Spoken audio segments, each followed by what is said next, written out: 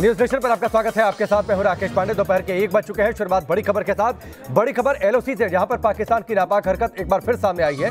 पुंछ में एलओसी के पास दिखा है पाकिस्तान का लड़ाकू विमान। पाकिस्तानी फाइटर विमान एलओसी के बेहद करीब दिखा है। ये बात भारतीय वायुसेना की ओर से कही गई है। सुबह सात बजकर पैंतालीस मिनट, यानी पौने आठ बजे के आसपास एलओसी के पास दिखा है पाकिस्तान का फाइटर विमान। भारतीय सीमा में पाकिस्तान फाइटर के घुसने की फ़िलहाल पुष्टि नहीं हुई है। लेकिन ये ज़रूर कहा गया है, ये ज़रूर जानकारी दी गई है कि एलओसी के बिल्कुल बेहद करीब तक दिखा था पाकिस्तानी वायुसेना का फाइटर जेट लेकिन ये भारतीय सीमा में घुसा या नहीं, इस बात को लेकर कोई जानकारी नहीं दी गई। लेकिन इस बात की पुष्टि की गई है कि एलओसी के पास दिखा है। शाहनवाज हमारे साथ जुड़ जुड़ चुके हैं, सीधे उनका रुख करते हैं। शाहनवाज, बताइए क्या पूरी जानकारी? पाकिस्तान की एक और हरकत। एलओसी के पास उसका फाइटर जेट क्या कर रहा था?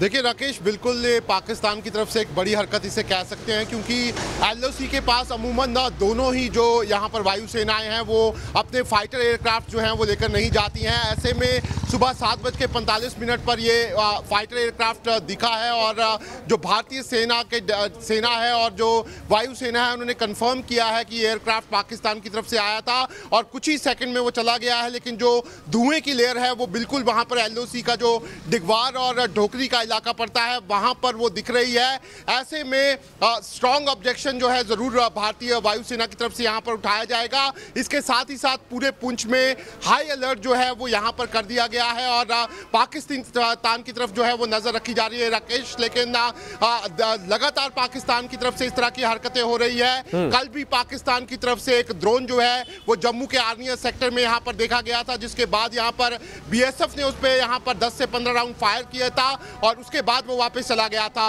ऐसे में ये हरकत ठीक है चलिए शाहनवाज शाहनवाज फ़िलहाल आपका हमसे जुड़ने के लिए बहुत बहुत शुक्रिया ये पूरी जानकारी देने के लिए।